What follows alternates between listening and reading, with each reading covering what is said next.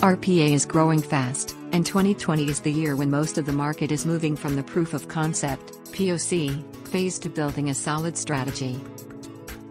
Here are some tips for you.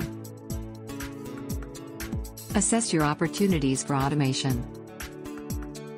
Begin by assessing your processes to identify areas that are highly rule based, structured, and repetitive.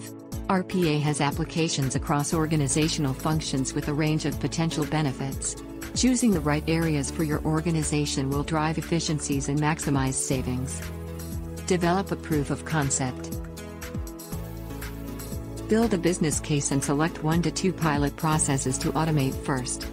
Make sure to measure performance changes and use this pilot test as a learning opportunity for everyone involved.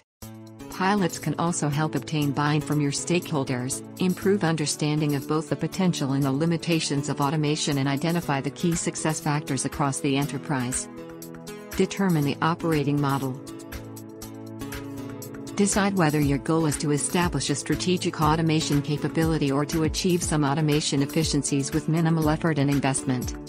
The outcome of this decision will affect the automation operating model and determine sourcing options. Identify automation partner.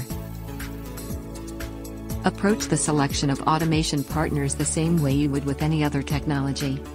Considering both current and future needs. Select the partner that best fits your needs and don't forget to ensure that their pricing models are aligned to your automation objectives.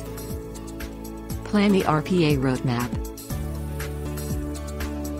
Start slowly with simple processes to build momentum and demonstrate value then scale up to support more complex business areas. Successful RPA implementations should result in long-term strategic gains. The roadmap for automation must look beyond the initial deployment and set out how automation will grow across the organization. RPA has enormous transformative potential. It can be tempting to implement new, exciting technologies quickly.